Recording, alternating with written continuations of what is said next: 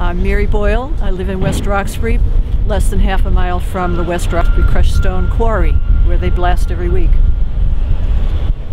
I found out in the fall of 2014 that there was a very high pressure pipeline going to be built right next to the quarry, and I was pretty angry about that. I joined with some other people in the neighborhood and we started vigiling on Monday evenings. Um, went around to the neighbors and tried to tell everybody what was going on. Uh, we stood outside the grocery stores with petitions and we tried to visit Senator Markey and Senator Warren's office and the mayor and the city council. In the end, the city council did have a resolution that was opposed to this project. That's right. Uh, the mayor stated his opposition. Eventually, he came out and stood with us once. Um, and the, two senators, Markey and Warren, eventually did write letters in opposition. Uh, but in the summer of 2015, after we had been trying to do all that education and protesting legally, we found out there was something else you could do, and that was civil disobedience. So uh, that's when I met Marla. Um, up till that time, uh,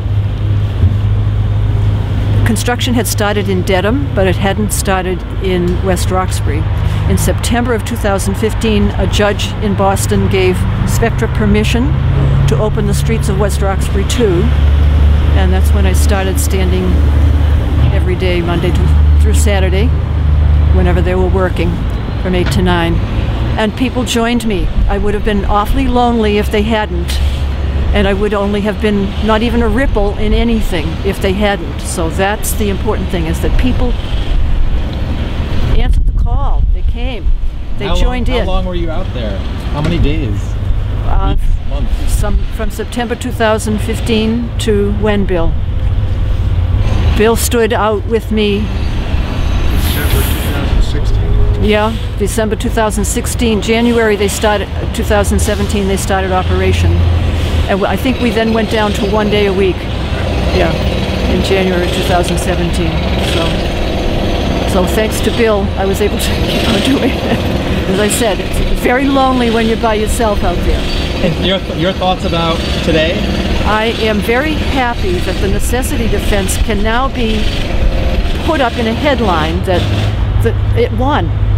And that all of these wonderful people in their statements, which drew tears to my eyes today, so beautiful and so on point and said such truth, and that that truth has to be spread. We have to disturb the complacency of our society. While we have you here, I just think we all want to say thank you for being a champion of this.